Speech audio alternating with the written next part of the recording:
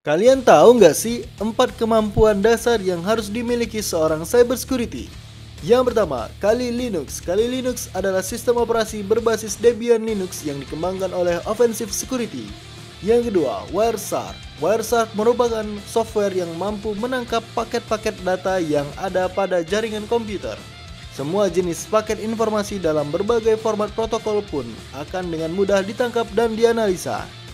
Yang ketiga, Securing OSI Layer 8 merupakan perlindungan sistem jaringan komputer dari human error, human attack, dan social engineering. Yang keempat, Web Application Security sebagai sistem tindakan perlindungan dan protokol yang dapat melindungi situs web atau aplikasi web perusahaan dari peretasan dan hacker.